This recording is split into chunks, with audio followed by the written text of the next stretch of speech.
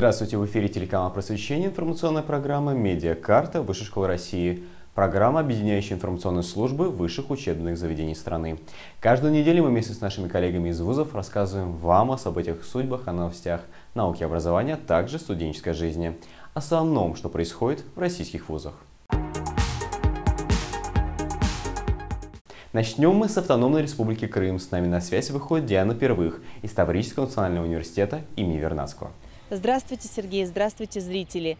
2 июня Таврический национальный университет имени Вернадского отмечал столетие со дня рождения почетного профессора ТНУ Александра Федоровича Перехода, который на протяжении 17 лет был ректором нашего вуза. Многое, чем сегодня славится наш университет, создавалось при Александре Федоровиче на основе его идей и замыслов. Подробнее смотрите в нашем сюжете. В честь столетия со дня рождения Александра Федоровича Перехода, заведующего кафедрой общей химии, а с 1960 по 1977 годы ректора нашего вуза, в Таврическом университете состоялось торжественное собрание сотрудников и студентов, где говорили о жизни и творчестве этого удивительного человека, ректора-созидателя, о том, как много он сделал для развития нашего университета. В 1963 году было начато и в 1965 году завершено строительство главного корпуса Крымского пединститута, который теперь именуется корпусом А. В строительстве принимали участие преподаватели, сотрудники, студенты, объединенные в четыре факультетских стройотряда.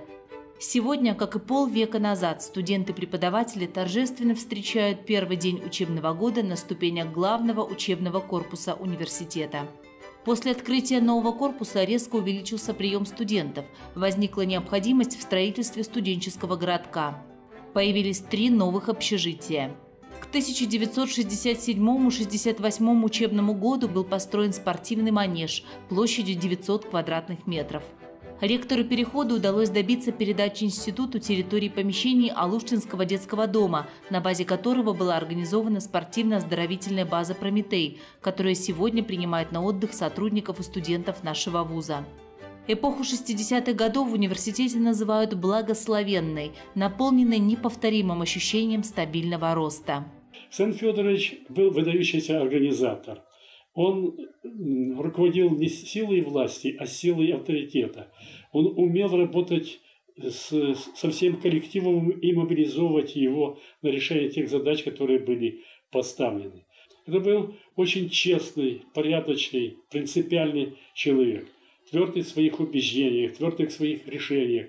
Его любили и уважали все преподаватели и студенты. И затем, когда он ушел с этого поста ректора, он оставался помощником, советником нескольких ректоров нашего университета, которые пришли ему на смену, и помогал им дальше развивать наш университет. Среди ценнейших приобретений пединститута этого периода стал ботанический сад. В 1964 году здесь начались первые посадки декоративных растений, и скоро университетский дендрарий вошел в число заповедных объектов областного значения. Формировались новые научные школы. Продолжала успешно действовать агробиологическая станция в Краснолесье, которая стала базой для обучения и воспитания будущих учителей биологии. Был открыт зоологический музей, экспонаты которого изготавливались из материалов, собранных сотрудниками кафедры студентами во время экспедиции в отдаленные уголки земного шара. К концу 60-х годов пединститут по итогам учебно-методической учебной работы вошел в число 10 лучших вузов СССР. И в 1972 году Александру Федоровичу Переходу удалось реализовать свой заветный замысел – возродить на базе Крымского пединститута классический университет – Симферопольский государственный университет имени Фрунзе. Я э, лично работал с Александром Федоровичем, могу сказать, что мне повезло в этом отношении знаю его хорошо как руководителя, как преподавателя, тем более, что он мой коллега, он химик. На период его деятельности в качестве ректора выпал очень э, сложный и насыщенный этап работы нашего университета. Это преобразование пединститута в университет. Э, у меня остались очень теплые личные воспоминания Александра Федоровича. Это был очень мудрый, взвешенный, умный человек. Очень много внимания уделял работе с молодежью. И Память об Александре Федоровиче останется в наших сердцах надолго. Во многом благодаря таланту Александра Федоровича, его энергии и настойчивости ВУЗ вырвался на путь быстрого и успешного развития. К 1977 году в университете было создано 7 новых факультетов, 12 новых специальностей. Был организован научно-исследовательский сектор. Профессорско-преподавательский состав пополнился новыми талантливыми учеными. Александр Федорович Переход оставил воспоминания, заключительные слова которых «храните и приумножайте» стали нерушимым заветом будущим поколениям преподавателей и студентов. Этому завету следует весь коллектив Таврического национального университета, сохраняя и приумножая традиции, заложенные Александром Федоровичем, и готовясь с достоинством встретить столетие Таврического университета. Сергей. Спасибо, Диана. А мы из Симферополя перемещаемся в Ставрополь. Иван Высочинский расскажет нам о новостях Северокавказского федерального университета. Здравствуйте, Сергей. Северокавказский федеральный университет вновь приветствует вас и всех телезрителей канала «Просвещение». Самый молодой и самый большой университет Северокавказского федерального округа отметил свое двухлетие. В рамках празднования лучшие студенты вуза были награждены премией «Гордость СКФУ». Об этом и не только в нашем дайджесте новостей. СКФУ успешно прошел очередную профессионально-общественную аккредитацию. В течение месяца здесь работала экспертная комиссия. Оценивались программы подготовки специалистов экономического и психолого-педагогического профиля. В состав комиссии вошли российские эксперты и представители общественности, а также их коллеги из Латвии, Чехии, Румынии и Болгарии. На встрече с руководством СКФУ они поделились своими впечатлениями от знакомства с вузом. Мы встретили здесь э, мотивированных и высококвалифицированных э, людей, и поэтому мы уверены, что ВУЗ будет процветать. Желаем вам удачи. Эксперты официально признали высокое качество образования и уровень подготовки выпускников СКФУ. В качестве подтверждения ВУЗ получил сертификаты об аккредитации 27 образовательных программ. СКФУ, самый молодой федеральный вуз страны, отметил двухлетие. В насыщенной программе празднования нашлось время не только для торжеств, но и для важных переговоров. Так СКФУ подписал соглашение о сотрудничестве с компанией Optec, официальным российским представителем ведущих мировых производителей аналитического оборудования. Подписанное соглашение предполагает дальнейшее взаимодействие сторон в образовательной, научной, а также исследовательской сферах. Позже состоялось еще одно значимое для всего университета событие. Было заключено соглашение о сотрудничестве между СКФУ и правительством Ставропольского края. Подписи под договором поставили временно исполняющий обязанности губернатора Владимир Владимиров и ректор СКФУ Алина Левицкая. Документ предусматривает целевую подготовку специалистов по направлениям, востребованным в отраслях экономики края, а также более плотное сотрудничество с учеными вуза. Главные торжества, приуроченные двухлетию СКФУ, прошли вечером. По традиции, главными героями праздника стали лучшие студенты вуза. Самым талантливым, активным и перспективным ребятам вручили ежегодную награду «Гордость Северокавказского федерального университета». Подведя итоги конкурса, ректор Северокавказского федерального университета Алина Левицкая не скрывала своей гордости за ребят. Вот сколько же сегодня на небосклоне университета, края и, надеюсь, в ближайшей перспективе России – взошло сегодня новых звезд, новых открытий, потому что каждый из наших номинантов в каждой номинации – это без преувеличения звезда. И какое же это счастье, мои уважаемые коллеги, преподаватели, правда счастье, иметь эту возможность удивительную участвовать восхождении этих звезд. Одной из таких звезд стал и признанный студент года Сергей Максимов. Его заслуги в образовании и общественной жизни по достоинству оценили и преподаватели, и сокурсники. Сам молодой человек секрет успеха не скрывает и даже готов поделиться им со всеми. Самое главное, чтобы люди действительно нравилось то, что они делают. Самодача, мне кажется, немножко уверенности в себе и, конечно же, поддержка друзей, коллег, товарищей.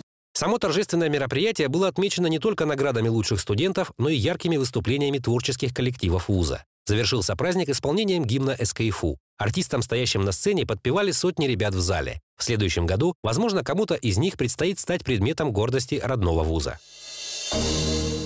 СКФУ устроил большой праздник для всех книголюбов Ставрополья. ВУЗ присоединился ко всероссийскому культурному событию «Библионочь». И впервые за всю историю научная библиотека университета распахнула двери для всех желающих. Участниками грандиозного мероприятия «Город книг» стали полторы тысячи студентов, преподавателей вуза, а также горожане, заглянувшие на праздник. Неожиданные сюрпризы начались уже на подступах к библиотеке. Здесь можно было увидеть известных литературных персонажей, зазывающих людей на праздник, а также необычный флешмоб от студентов СКФУ. Входным билетом на праздник стала книга. Гости могли обменяться принесенными изданиями, поддержав еще одно популярное явление – буккроссинг. А дальше всех ждало увлекательное путешествие по арт-площадкам. Попробовать писать пером, создать картину при помощи утюга и научиться вальсировать.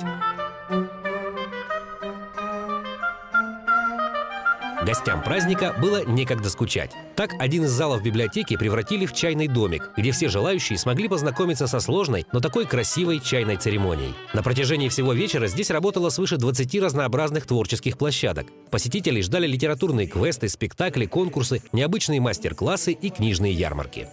Ну, в первую очередь меня привлекло, что это происходит в библиотеке, так как я очень люблю читать и часто сюда прихожу. Это хорошее место просто отдохнуть, расслабиться. Тем более, когда мероприятие, посвященное э, книгам, поэзии, стихам. Многие ставропольцы специально пришли на праздник, чтобы попасть в обычно закрытые фонды научной библиотеки из КФУ, которая, кстати, признана лучшей на конкурсе «Образование и наука» в Оксфорде. Среди хранящихся здесь изданий есть бесценные редчайшие образцы, которые по праву считаются национальным достоянием нашей страны. Когда у людей так сияют глаза, когда им радостно быть вместе, когда интересно общаться, это самое главное, потому что университет – это не здание, это не какие-то проекты, это люди. И вот когда люди объединяются вокруг идеи, когда идея объединяет людей, когда она общая, это самое главное, это замечательно. Лейтмотивом Библия ночи стало значимое для нашей страны событие. В 2014 году Россия празднует 200-летие со дня рождения Михаила Лермонтова. Именно поэт стал главным героем и распорядителем праздника. В этот вечер среди гостей и на площадках можно было увидеть многих героев бессмертных творений Лермонтова. В окружении изысканных дам и галантных кавалеров можно было почувствовать себя на настоящем балу. После мастер-класса многие пары с удовольствием вальсировали под светом софитов. Не с пустыми руками ушли самые активные участники литературного праздника. Завсегдатай научной библиотеки, авторы лучших фотографий на тему «Пойманные за чтением» и записей о библионочи в соцсетях получили подарки от руководства вуза и спонсоров мероприятия. Главным сюрпризом праздника стало уникальное маппинг-шоу – трехмерная видеоинсталляция, посвященная шедеврам отечественной литературы.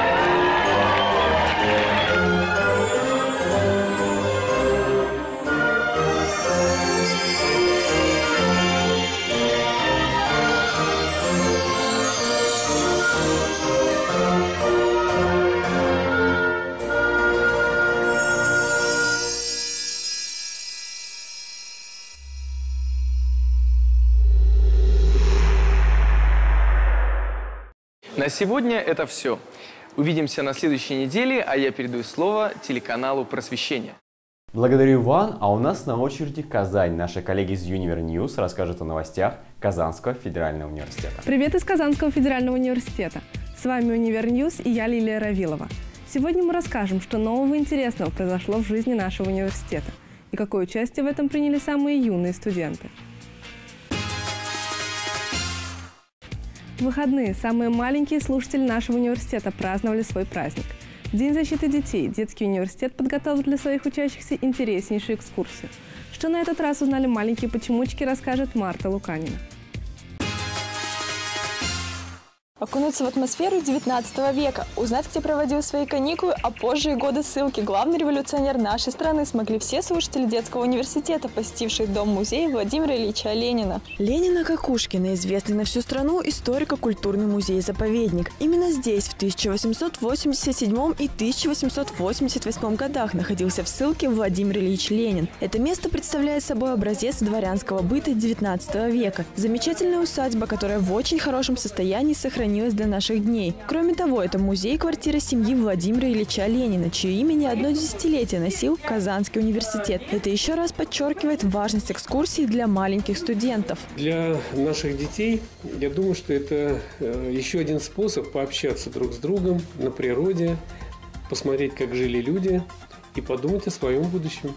Юным студентам поездка очень понравилась. Они с интересом слушали экскурсовода, осматривали экспонаты и даже задавали вопросы. Мне очень понравилась поездка, и я узнала очень много нового. Например, то, что в каких домах жил Владимир Ильич Ленин.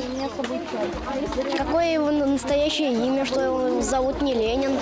И другое много. Мне понравилось, что, э, что Ленин жил не как э, раньше, не как наши президенты, а жил совсем по-другому. Теперь ребят ждет три месяца каникул. Самое время отдохнуть и набраться сил. И в октябре ребята вернутся в любимый университет с новыми силами и вопросами. Марта Луканина, Ленардо Влетьяров, UniverNews. Так весело проходят выходные. Но еще больше событий выпадают на учебные будни. Чем запомнилась эта неделя, узнаем от Ралины Киряевой. У представителей острова Свободы о Казанском университете исключительно теплые воспоминания. Выпускниками КФУ в разные годы стали около 700 кубинцев. Сейчас они занимают очень высокие посты в своей стране. Теперь гостей с острова Свободы заинтересовали наши достижения в области нефтедобычи и нефтепереработки, а также в биомедицине и фармацевтике. На Кубе в приоритете именно эти направления. Отсюда катастрофическая нехватка высококвалифицированных кадров. Руководство Кубы намерено возобновить обмен студентов с российскими вузами. И, как признался признался господин посол, Казанский федеральный университет – один из лучших для этого.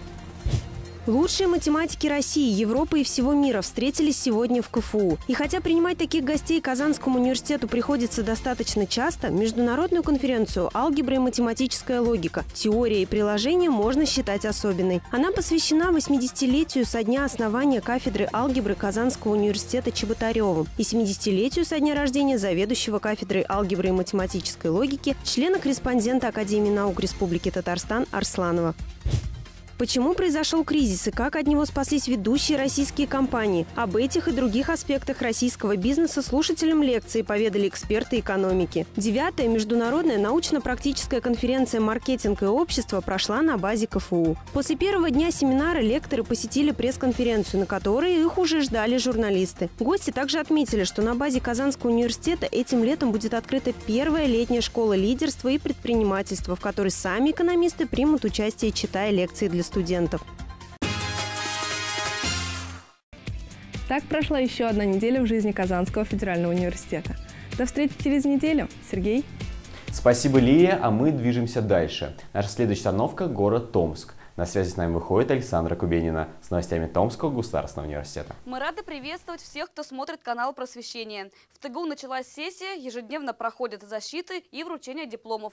А сегодня мы расскажем о самых заметных событиях уходящей недели.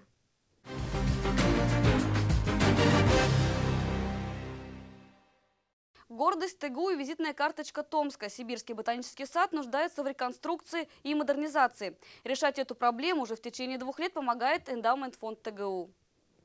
Благодаря поддержке фонда сотрудники ботанического сада облагораживают оранжереи и открытую территорию комплекса. В настоящий момент здесь началась работа по строительству беседок и стендов. Также сотрудники обустраивают плодовый сад. В следующем году Ботаническому саду исполнится 135 лет. К юбилею планируется создать исторический кабинет, в котором посетители смогут узнать о разных этапах жизни сада. Конференция «Томская Сибирь в цивилизационном пространстве Евразии» собрала в начале недели в ТГУ ученых из Китая, Монголии, Финляндии и США. Исследователи отметили, что Сибирь – это уникальный регион со сплавом культур и религий. И именно по модели ее развития можно предсказывать события, которые будут происходить в Евразии и в мире в целом. Участники предложили создать при ТГУ координирующий центр по обмену информацией о культурах народов Евразии. В Томске прошел ежегодный фестиваль уличной культуры и современного искусства «Стрит Vision. Мероприятие уже третий год подряд собирает талантливых фотографов, дизайнеров, уличных художников и музыкантов, чтобы они смогли показать свое искусство всем желающим. Многие из представленных проектов на Street Vision можно было не только посмотреть и послушать, но и увидеть в действии и даже испытать на себе. Это работа, сочетающая в себе искусство и науку. С каждым годом фестиваль Street Vision становится все масштабнее. Значительно возросло число выставочных работ, участников, представленных направлений и зрителей. Организаторы планируют расширить географию проекта. Возможно, в следующем году фестиваль уже будет. Таковы итоги этой недели. Подробнее наши сюжеты смотрите на сайте tv.tsu.ru и на странице ТВ Университет ВКонтакте. А я с вами прощаюсь. Сергей. Спасибо, Александра. Из Томска перемещаемся в Тюмень. Мария Сильнягина расскажет нам о новостях Тюменского государственного университета. Спасибо, Сергей. Я рада приветствовать зрителей телеканала «Просвещение» и с удовольствием познакомлю с итогами недели. Министерство образования и науки Российской Федерации установило контрольные цифры приема на обучение выпускников крымских школ за счет федерального бюджета. Тюменский госуниверситет попал в число российских вузов, которым Минобрнауки выделил дополнительные бюджетные места. Абитуриенты из Крыма, поступающие в Тюмгу, смогут претендовать на 42 бюджетных места. Тюменский госуниверситет стал местом проведения финала юбилейной 10-й Всероссийской открытой студенческой олимпиады по сетевым технологиям. Наша съемочная группа понаблюдала за тем, как вершится будущее. В финальном состязании приняли участие 30 самых перспективных студентов из 13 городов России. Финалисты Олимпиады IT Планета, победители World Skills Russia, а также финалисты конкурса Cisco Net Riders. Ты сидишь, и ты все конфигурируешь, все настраиваешь так быстро, и ты все это понимаешь. Вроде, ну, какой-то частью понимаешь, что это так сложно, но это же вообще какой-то... Ну, но тем не менее у тебя это получается, ты это делаешь, и это очень здорово. Можно пообщаться ну, на этой Олимпиаде, познакомилась с многими людьми, которые тоже интересны эта область, тоже увлекаются, занимаются. И на самом деле это очень здорово, когда можешь поговорить с людьми в, в этой профессиональной области, поделиться мнением, узнать, э, чтобы они ответили на какие-то вопросы, ну, просто пообщаться. Для каждого из них финал Олимпиады в Тюмени – огромный плюс в резюме и путевка в жизнь. ЦИСКО помогает установить профессиональные контакты. Во-первых, мы будем поддерживать с ними контакт. Во-вторых, мы а, проинформируем а, партнеров нашей компании, мы проинформируем а, а, потенциальных работодателей о этих ребятах, при условии, если, конечно, они захотят, потому что это их персональные контакты, персональные данные. Но если они нам разрешат это сделать, мы планируем это сделать уже завтра. Примечательно, что в Тюмени Олимпиада проводится впервые и принимают ее Тюменский госуниверситет, студенты которого уже не раз заявляли о себе. IT сегодня является частью университетской миссии, а также одним из приоритетных направлений развития региона. Здесь дошло уже вот подготовка вот именно людей вот в области сетевых технологий примерно по уровню абстракции до математики. То есть на, этом можно готовить умных. Вот мы стараемся готовить просто умных, не натаскивая их на что-то, а просто развитием мозги вот с помощью вот этих сетевых технологий. Имена победителей уже известны. Первое место занял наш студент Денис Спирин, победитель второго национального чемпионата World Skills Russia 2014. Я, честно, был поглощен сессией, не очень много времени уделил подготовке. Все-таки сказывается подготовка к World Skills. Но я не был до конца уверен, до последнего, что выиграю. Числе лидеров Денис примет участие в Международной Олимпиаде NetRiders, где главный приз – стажировка в офисе компании Cisco в Сан-Хосе. Надеемся, что Денис станет первым российским студентом, которому удастся одержать победу. Георгий Лайф, Николай Салдаев, Евразион ТВ. Где пройти практику? Сейчас этот вопрос особенно волнует студентов. В Институте филологии и журналистики ТюмГУ состоялась встреча с руководителями и журналистами тюменских СМИ. Подробности в репортаже Александра Нечипарчук. Впервые на отделении журналистики Тюменского госуниверситета прошел день практики. Это своеобразная очная ставка между тремя заинтересованными сторонами – студенты, преподаватели и представители тюменских СМИ. Вот у вас есть возможность наконец-то понять, куда вы попали, что вас ждет, ну, перевести на современный язык что-то вроде тест-драйва или пробного брака. Вы наконец поймете, что вас ждет в реальной действительности. Начинающие журналисты получили возможность выбрать место летней практики и наладить контакты с будущими работодателями. Здесь практиканты познакомились с требованиями и характером предстоящей работы. Как отмечают представители печатных СМИ, главное – это владение словом и желание работать. Ведь работать практикантам придется много и еще больше учиться работать. Мы можем взять людей на практику. Они будут приходить к 10 часам утра, планировать следующий номер вместе с нами – таскать в клювике то, что они увидят по городу, что есть интересного, и в порядке бреда, как у нас говорится, предлагать любую головоломную идею, которую тут же разрушат, построят, перестроят, переклеят и пошлют выполнять самому. После получения первого опыта практики в СМИ студенты начинают относиться к практике как к потенциальному месту работы. Я думаю, в моем случае о первом опыте уже несколько говорить поздновато, я на четвертом курсе учусь, но изначально первые три года для меня это в первую очередь был опыт, конечно. Я выбирала практику именно исходя из, из этих убеждений, старалась, знаете, не пожалела. Нашла именно те места, где на самом деле мне предлагали работу, и я пробовала применять свои знания и получала профессиональные навыки. Сейчас же я ищу практику, которую смогу потом устроиться в дальнейшем на работу. Летняя практика для начинающего журналиста – прекрасная возможность научиться работать по своей специальности. Настоящий журналист должен не только хорошо знать теорию, но и уметь применять ее на практике, потому что успех на этом поприще зависит от профессионализма. Александра Нечипарчук, Алексей Моисов для Евразион ТВ. Удостоверение о повышении квалификации получили первые слушатели Высшей школы современных медиакоммуникаций при Тюменском госуниверситете.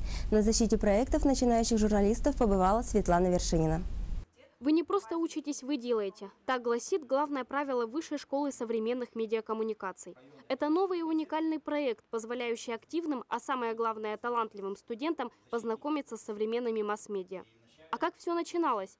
Высшая школа заинтересовала многих. Только потенциальных участников набралось около сотни. Но жюри допустило до занятий только 25 студентов.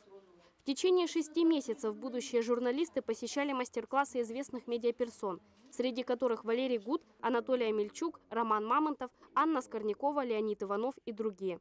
Слушатели школы познакомились не только с имиджем журналистов в современном мире, но и изучили специфику написания материалов, подготовки телерепортажей, ведения блогов. Но несмотря на живой интерес и повышенное внимание со стороны участников к данному проекту, до финала дошли всего шесть человек. И именно они защищали свои проектные работы на заключительном этапе занятий. Проект называется «Модные новости». И стоит отметить, что ключевым здесь является слово «модное». Я поработал с... Ну, как я работал с фотоаппаратурой, я приобрел кучу навыков, то есть я все-таки непосредственно фотограф. Э, меня научили тому, что надо верить в важность журналистики и коммуникации и любить печатное слово. Именно этому меня научили в высшей, школе, высшей школе современных медиакоммуникаций. Для себя я освоила такие программы, как Adobe Premiere, GIMP, э, Cyberlink Power Direction и Adobe Photoshop. Будущие журналисты представили свои проекты из разных отраслей современных медиакоммуникаций. Телевизионная и конвергентная журналистика, печатные СМИ, фотодело. Начинающие блогеры, фотокорреспонденты и интернет-журналисты наметили цели для дальнейшей журналистской работы и бойко отвечали на вопросы комиссии. Обсудив все проекты, строгая экзаменационная комиссия вынесла свой вердикт. Удостоверение о повышении квалификации получили все шесть слушателей, представившие свои презентации.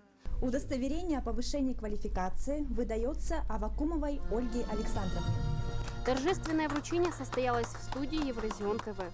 А в следующем году ребят снова пригласили в школу медиакоммуникаций, но уже в качестве помощников кураторов направлений. Светлана Вершинина, Николай Салдаев для Евразион ТВ. Больше новостей Тюменского госуниверситета на портале Тюмгу в интернете utmn.ru. Сергей, передаю вам слово. Благодарю, Марии. Сегодня с нами своими новостями поделится Алтайский государственный университет. Коллеги, вам слово.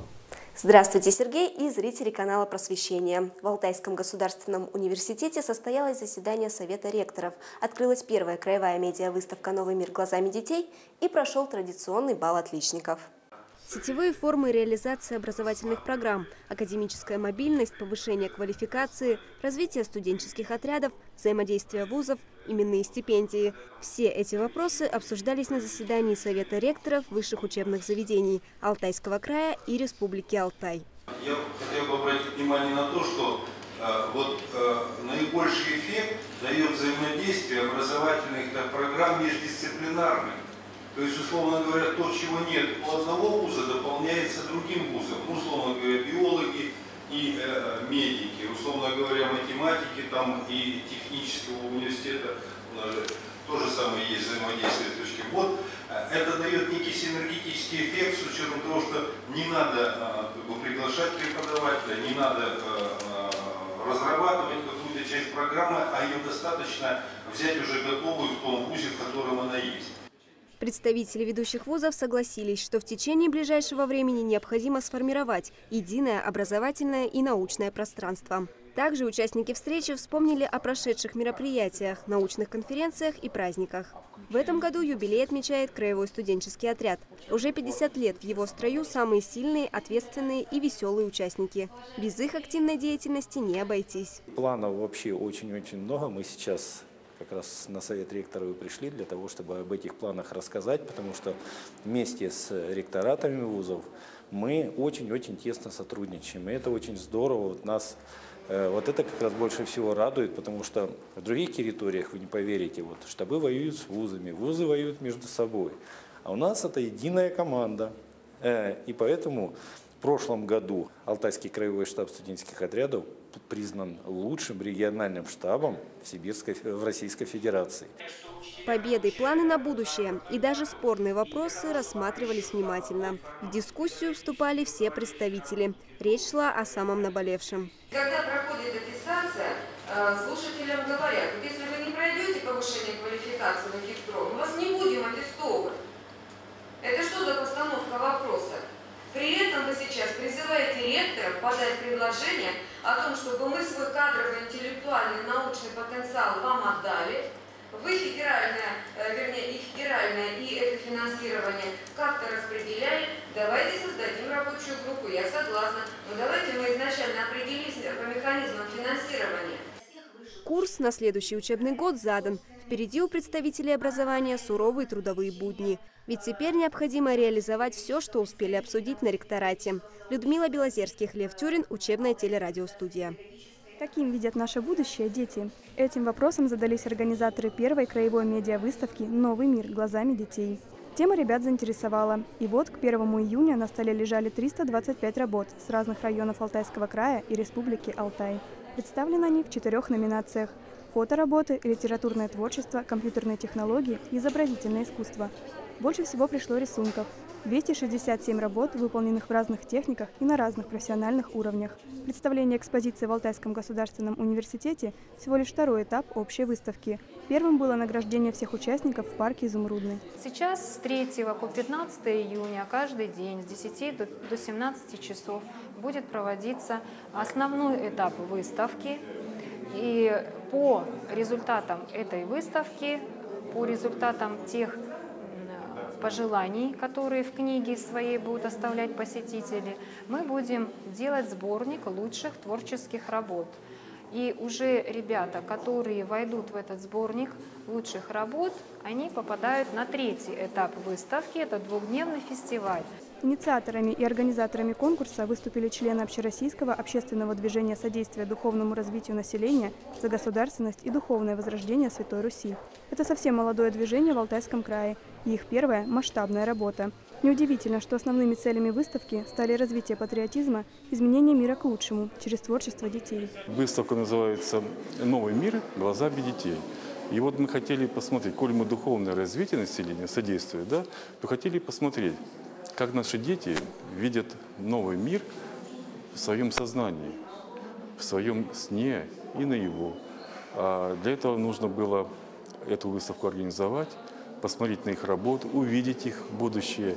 И пока у нас есть еще время у взрослых, как-то приблизиться к выполнению вот их мечты. А мечты у ребят разные, но все глобальные. Ребенок хочет жить в мире и творить а взрослым остается только всеми силами помогать им в этом. Светлана Малюк, Лев Тюрин, учебная телерадиостудия.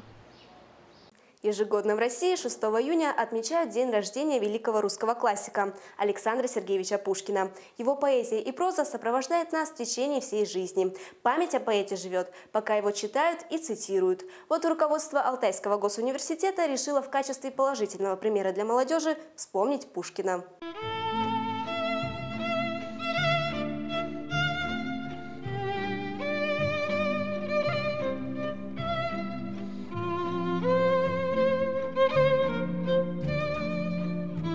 Если жизнь тебя обманет, не печалься, не сердись. День уныния смирись, день веселья, верь, настанет. Сердце в будущем живет, настоящее уныло. Все мгновенно, все пройдет. Что пройдет, то будет мило.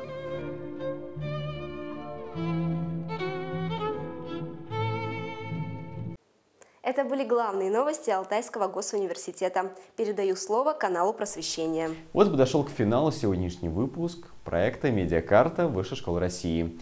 Я благодарю всех коллег, принимавших участие в создании сегодняшнего выпуска. Если ваш вуз хочет стать участником нашего проекта, пишите нам на электронную почту mapsobaka.просвещение.тв. Увидимся на следующей неделе.